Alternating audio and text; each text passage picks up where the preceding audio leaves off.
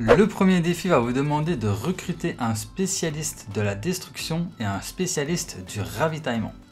Pour réaliser ce défi, vous avez plusieurs solutions. La première solution, c'est de vous rendre ici à Rankless Highway.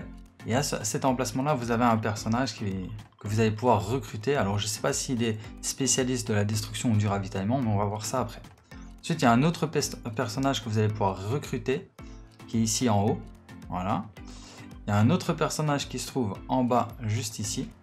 Et il y a un autre personnage qui se trouve à Snoopy Step.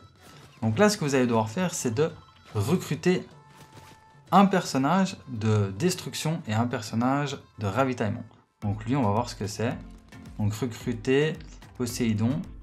Ok, on voit pas ce que c'est exactement. Donc pour savoir ce que c'est, ce que vous allez devoir faire, c'est d'aller dans votre, dans, dans votre onglet de personnage. Et là, on peut voir que c'est un spécialiste de la destruction parce qu'il y a une petite